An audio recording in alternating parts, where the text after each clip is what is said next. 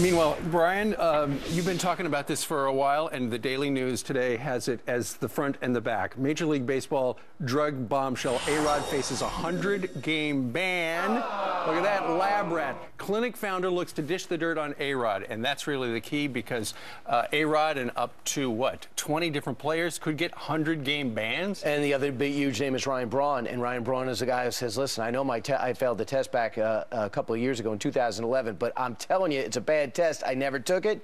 Well, it turns out his name, along with those others that Steve mentioned, and we'll try to uh, get you those names, are rumored to be on a soon-to-be banned list because this man uh, named Tony Bosch, who runs a biogenesis clinic, a wellness clinic down south, which is uh, reportedly gives out PEDs to people, the so-called longevity clinic, many of which are high-level athletes. In the case of Alex Rodriguez, the allegation is not only did he buy this, the, these performance-enhancing drugs, but uh, but Bosch actually injected him with it.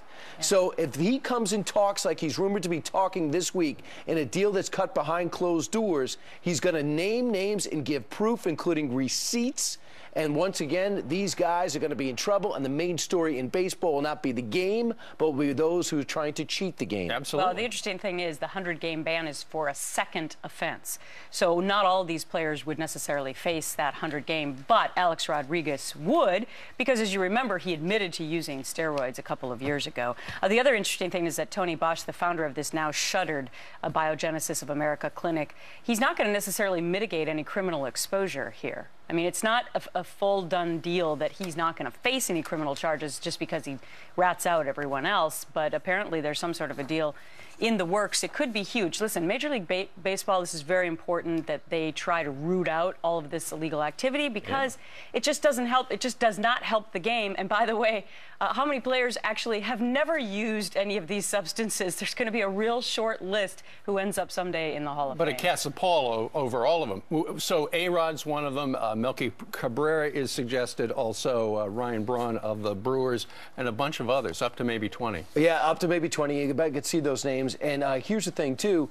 If you by, by, the way, baseball seems to be the only league that's trying to straighten out its house. You're going to tell me basketball's not dirty, football's not dirty? Absolutely not. But right now, in baseball in particular, they are nothing without their legacy and their records and their history. And you could throw out two generations of players because for now on, the fan looking at all different ages will say, yeah, he was good, but what was he using? Yeah, sure. they were good, but what did they get caught doing? And by the way, his name turned up on it, so he was guilty, but I'm sure the other guys just used different time timing of the tests, and they were able to escape. Now, the question is, as these names pop up and the proof comes forward, will Major League Baseball Players Union say, hold it, that's not fair to the people I represent? Let's look into this. Will guys like A-Rod use the, all their $252 million to fight back against this and further sully the game and its integrity? Well, one thing's for sure. The Players Union is one of the strongest unions in the world, so they will no doubt fight back. In the meantime, and we've got to bring you up to date for